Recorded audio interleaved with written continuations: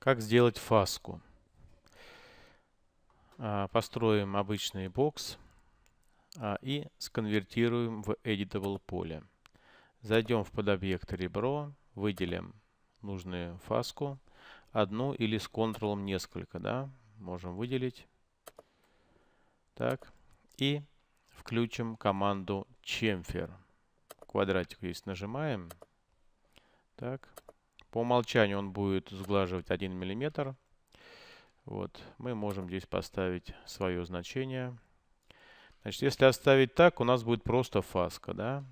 Второй параметр может скруглить нам данную фаску, видите? Можем делать скругление. F4 лучше отключить, чтобы видеть, насколько, чтобы там, вот, допустим, из лобов не было видно, да. Ну, там где-то 10 вот в принципе, достаточно этого. Вот. Дело все в том, что фаска делается один раз.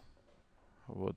Эм, если мы сейчас скажем ОК и захотим вот в другом месте это самое, снимать фаску, да, уже будет, э, вот допустим, вот так сейчас я с Windows Cross выделяю и нажму Chamfer, вот, то в этом месте уже будет у нас проблема, видите?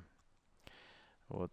Так что фаски делаете а, сразу один раз.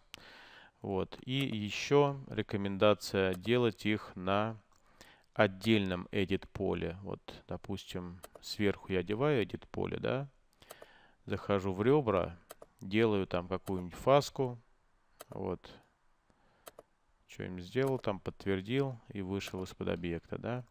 Если даже через год вы сюда зайдете, вы всегда сможете отменить edit поле. То есть вот здесь нажимаете его, да, и удаляете. Видите, у вас вернется все.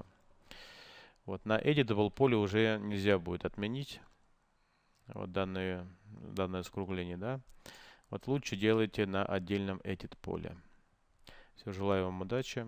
До свидания.